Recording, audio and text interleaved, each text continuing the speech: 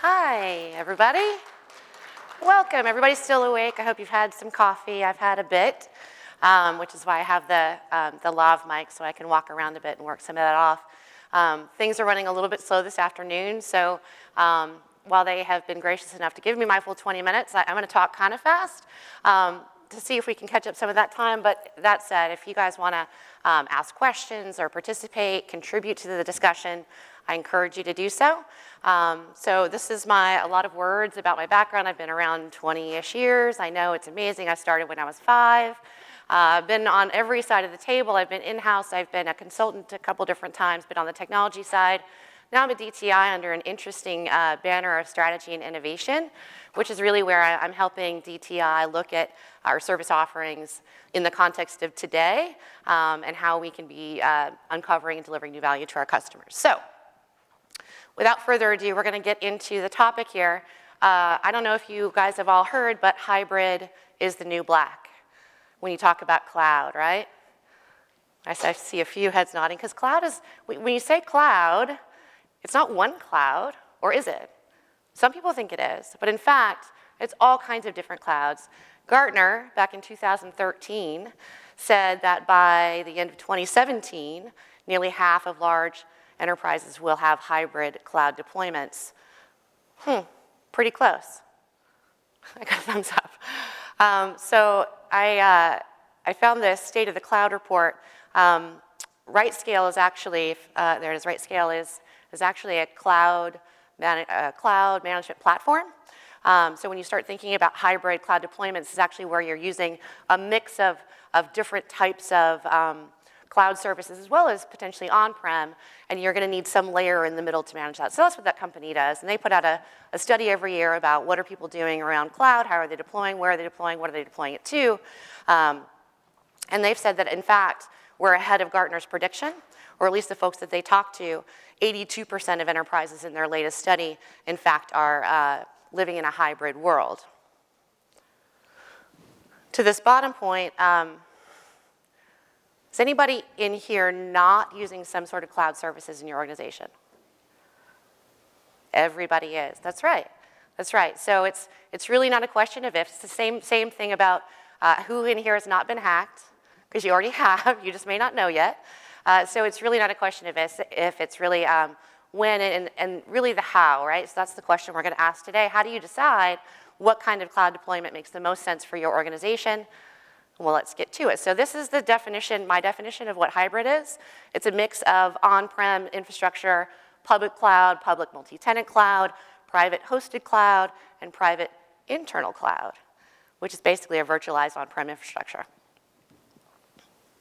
So why do we have hybrid? Because, you know, much like, like the, the mittens you buy for winter, one size does not fit all. Because I can guarantee you, I buy those one size fit all mittens and they fit my kids and me, but they wouldn't fit Shaquille O'Neal. So it doesn't fit everybody, but that's because not all data is the same, right? Every organization's got stuff that uh, is super, super secret or super, super important, whether it's uh, social security numbers, uh, in a transactional database because you do online retail. Um, maybe it's you're a pharmaceutical and you've got uh, proprietary drug recipes, super, super secret stuff. Maybe you also have stuff that you want to keep internal to your internal teams, but then there's other things that you actually need uh, your customers or your partners to collaborate on. There are things you're going to need to produce to external authorities. There are th the things that uh, keep your business humming, like your email systems. Then there's also data in your, in your enterprise that's just the residue of business, right? Some of those things you have a, an obligation to keep, sometimes for a short period of time, sometimes for a long period of time. So the trick with cloud is deciding what's the right mix for me, right? So a hybrid, a hybrid environment is going to be some mix of public, private, and on-prem, but how do, you, how do you decide? The first questions you need to be asking yourself are, who the heck am I? What does my company do? What industry are we in? Who are our customers? Where does data come from? Where does it go? Who's using it? What obligations do I have? How, in fact, do I engage with my customers in the marketplace? Does anybody here know what their company's mission statement is? A few. If you don't, I highly recommend you go find out because when you start asking these questions, which it seems kind of disconnected, right? I'm going to decide which, which stuff's going to go in the cloud and what's not. You need to kind of really understand what your business is and what your goals are, what your obligations are in the marketplace to understand and balance some of the risks that you're going to face by choosing one avenue or another. I love this picture. Anybody here a cat person? I am. um, so once you've decided for yourself, okay, this is the business that I'm in. Uh, these are my kinds of customers. Maybe I'm doing business with banks, or maybe I'm doing business with consumers, or maybe I'm doing business with um, other businesses. I'm, I'm B2B. Um, then you can start to look at your specific data flows. Because when it comes down to it, choosing the right mix of deployment op uh, options is really all about the data that's going to be in it right? We, we decided that cloud's not one big cloud, so, and not all data is the same. So we've got to actually chop up data into logical chunks to decide, should I deploy it here? Should I deploy it there? What are the risks? What are the trade-offs? So specifically, which data are we talking about? Is this my website? Is this my um, transactional database where I'm doing business and, and capturing um, maybe credit card numbers or things like that? Maybe this is just kind of a, a, a file share kind of environment, collaborative, um, work in process environment? What is, what is the data itself specifically? Who needs it, and how do they need to get to it? And how often do they need get, need to get to it? How quickly do they need to get to it? These are all questions we need to be asking because there's going to be an effect um, based on the, the deployment method that you choose. What performance requirements do you have? Uptime, downtime? Is that in your control if you're, if you're going out to a hosted environment, a, a hosted cloud environment? How much of that performance are you willing to give up? Security, what security requirements do you have? Is it, again, social security number, a private drug recipe, or is it public information that's already out on your website? What kind of compliance requirements exist with the data that, that you're sending out, potentially sending out to the cloud? Um, do I get sued a lot over the data that's going to be potentially out in the cloud? And if I am sued a lot, how quickly do I need to get to it? Do I have confidence that I'll be able to get to it? And then the last one is really important, I found, in cultural challenges, right? So how many of you in here um, have a, a web deployed ECM environment? Right, so for those who are used to of a more enterprise behind the firewall implementation, you've got more control over that, and, and folks are used to the how, how, they interact with that. But sometimes the cloud deployment can look different. There can be pushback on uh, wanting to go, to go there to use it and, and concerns about that type of data going into the cloud. Who's got it? Can we control it? What's the security around it, performance around it? So this is something that um, when I was making these kinds of decisions, this was the first question that I asked. And to me, this is kind of the foundational um, decision point. What kind, what kind of data is it? Is it super sensitive? And what's the workload look like? Because, you know, what, what the the primary potential of cloud is, is scale and accessibility. So this top one, if it's highly sensitive stuff, I probably want to keep it really close. But I have an option to have it on-prem where I can control it all, or I can set it up into a private cloud where I am paying to control it all. Low sensitivity stuff, public information, like your website, why not put that on a public cloud? It's perfect. You're not worried about your trade secrets getting out because you're not putting them on your website, I hope. Anybody doing that? No. Variable workloads. So you think about retail. Retail is a great example, right? There are peaks and valleys. You're going to have a white sale for Memorial Day. You're going to have the Christmas rush, Black Friday, um, where you, cloud, actually the built-in scalability of cloud is really, really valuable. But then you have other processes like your accounting department or um, other more common uh, business functions that are static. the workload is static. You know what capacity you need. There aren't big spikes. So those are perfect for on-prem. Questions? Yes? No? No questions. All right, so let's start to look at this. Excuse me. So obviously, uh, sensitivity and workload are not the only things that you want to consider. Obviously, there are costs involved, and these little graphs I made up Uh, your mileage will vary, um, but these are some other data points that you should be considering, right? Accessibility, who needs to get to it? How are they gonna be willing to get to it? Um, you know, just because you put something up in the cloud and, and it's, you can get to it through an internet connection, do people reasonably have access to an internet connection? Is that internet connection stable? Is it a critical work process where if they don't have access to the internet, they're not going to be able to get their work done, and that will have some, you know, substantive impact on the business? What about security? What kind of security? How much security? Is a big wall big enough? Do we need to have some sort of information rights management on it so we can know proactively what people are doing and what people are trying to access information, what they're doing with it? Cost. Simple one, but not a simple equation. And we'll get into the, the cloud versions of this in a second. Um, when we talk about on-prem, it's really expensive. You have to buy the hardware, you've got to buy the software, and you have to have the people to maintain all of those things over time. Scale. Again, when we talk about workloads, um, scalability becomes one of the primary reasons to go to cloud, right? We're all drowning in information. Anybody here not? Anybody solved that problem yet? Nobody, okay. That's good. That's why we're all here, right? At least in part. So um, scalability is, is one of the, the great promises of cloud. And, um, and I, I, think it's true. Um, I think for all of the people who came out of the records management discipline in the room, we'd say, hmm, maybe we don't need all that information. But in fact, what I found is that organizations haven't yet figured out how to clean all that stuff up. Um, and in reality, the, the pressures of day-to-day -day business are saying we don't have time to figure that out we need to find some place where we can put all of this stuff. Um, and in fact, that we can, um, it can grow and scale with us over time. And the last one's performance. Um, you know, how fast do you need to be able to get to it? Who needs to be able to get to it? How do they get to it?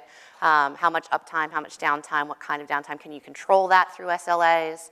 Um, obviously on-prem, those are all things you can control. The cost is super high, performance is pretty high because that's within your control. It's behind your firewall, you've got the stacks in your, in your server room, um, even security, I kind of gave it a low grade on-prem, but that was in comparison to what you potentially can get outside. Has anybody here in your organizations heard the argument, no, we cannot possibly send it to the cloud because it's not secure? Right, I'm telling you, uh, more often than not, the security level that you're gonna get with a cloud service, depending on the cloud service, uh, is gonna be more than you can actually afford. That cost will go right off the scale um, if you really need to invest at the level that uh, an outsourced provider will. Um, they need to do it, right? You've got to, um, you have an obligation to start to understand what, what, what their investments are um, and what kinds of promises they can make to you. But in reality, to today invest in the level of security in a data center that an external um, hosting provider would, would provide is going to be cost prohibitive. Obviously, from an accessibility standpoint, on-prem is great when you're all in one place. I've worked from home for seven years, right? I mean, if I have to go into an office to get access to um, to our file shares or any of our enterprise applications, that's going to be really difficult. So for my company, having cloud services available to us for all the, the stuff that I need to get to becomes really important. It's a decision factor for us. All right, so hosted private clouds, you see it's kind of all at the top. It's expensive. It's as expensive as it's going to be for on-prem, but you've got those benefits of accessibility, scalability. Again, those are the two big ones, um, particularly when you're looking at variable workloads in terms of scale.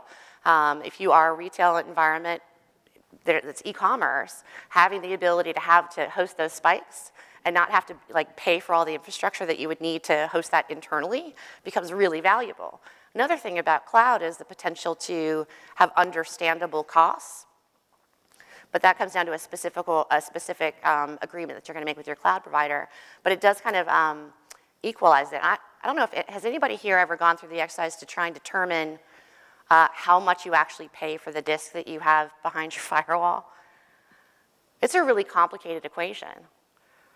Really complicated. And even if you figure out what your incremental cost is for the disk, understanding how you buy it becomes the next question because just because you pay this amount and say, well, okay, I'm gonna, I'm gonna delete 10 terabytes of rot off my uh, disk, that doesn't mean you stop paying for it.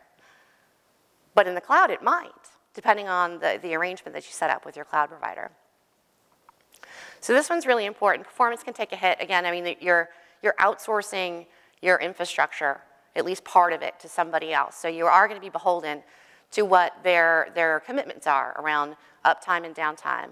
So going into these types of, of agreements, it's important to understand uh, when you'll not have access to your data, why you'll not have access to it, and in fact, if you need to have access to it in an emergency, what procedures may exist to allow you to do it.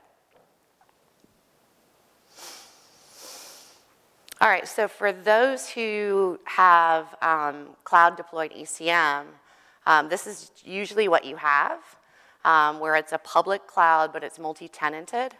Um, basically, they kind of carve out a space for you, but you're still all in one big pot.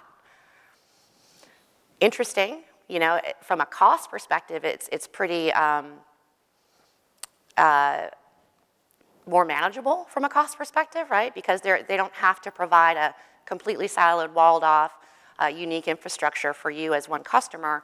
They can provide all of the underlying infrastructure, infrastructure and then put you all in different units.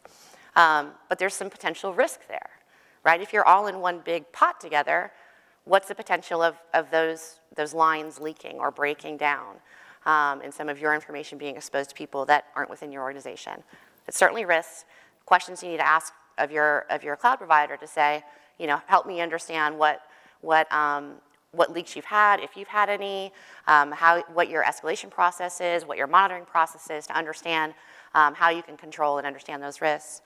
Um, any type of cloud, uh, real cloud, external hosted cloud, it's gonna be great for uh, environments where you have folks working all over the place. Is anybody here, or is your whole company all in one office? Anybody?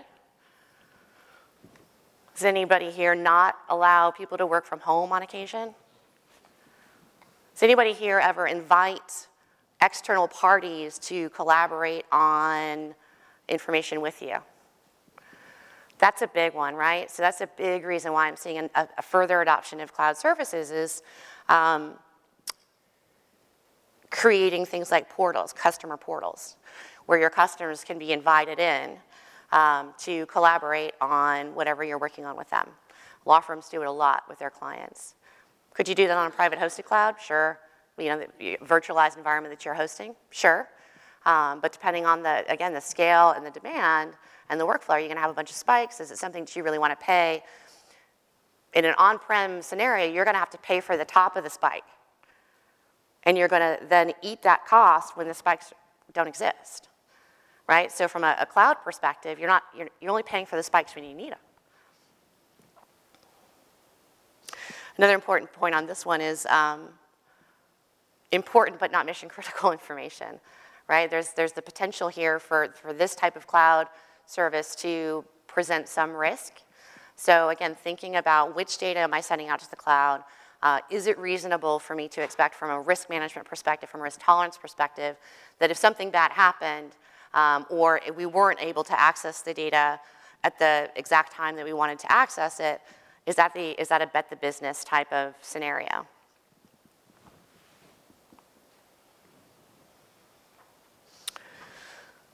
And so then there's the public cloud, and this is the consumer cloud that most of us use, right? Where I don't, do, do any of us have an expectation of privacy anymore?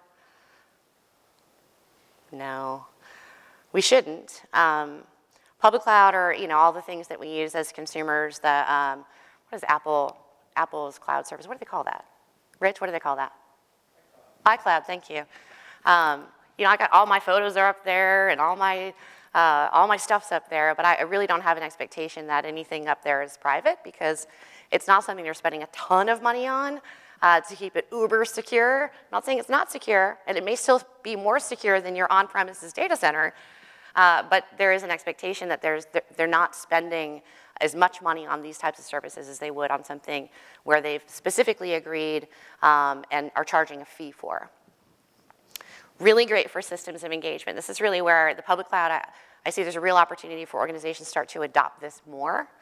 Um, obviously, things like Office 365, um, other sorts of mission critical or, or important business systems going into private or, or public multi-tenant.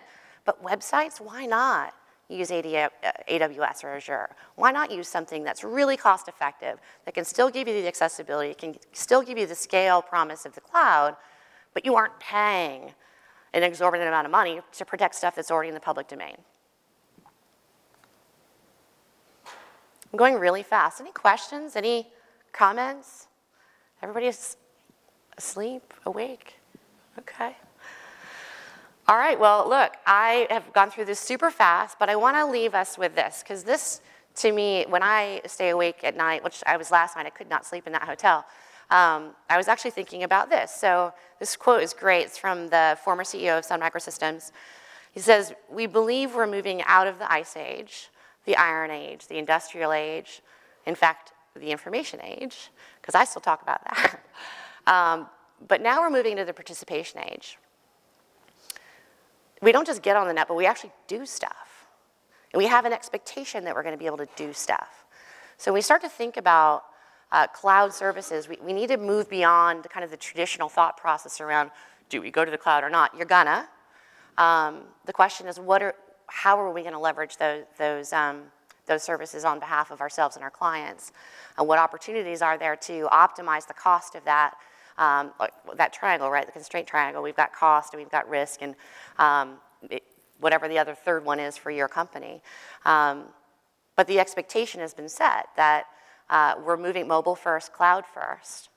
Um, and so it's incumbent upon all of us in this, in this room to really understand um, from, a, from a governance perspective, what does all of this mean and how can we be helping our organizations uh, sort it out, right? If, if we're not the ones making decisions on uh, where something is gonna go, how can we at least be part of the discussion?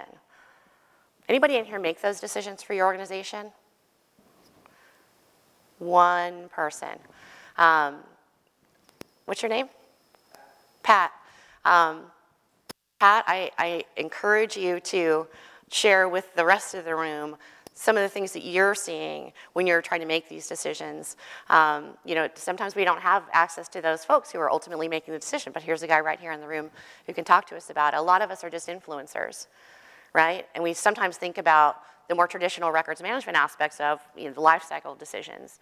Um, how long do I need to keep this? And, uh, you know, when the retention clock ends, do I have the ability to get rid of it? Valid questions that you should be asking. But in reality, it's not, it's not the first thing that the folks who make the decisions are asking, and it's not the last thing that they ask when they make the decision. There are so many other components to um, how you, what you select in terms of a cloud service and why you select it that are beyond just a, a life cycle question. Um, so getting to understand some of these other things and um, the other aspects that your, your IT departments are looking at enables you to have a, a more in-depth conversation with them and advise the governance process at the beginning rather than trying to deal with it at the end. So with that, that's what I got for you guys.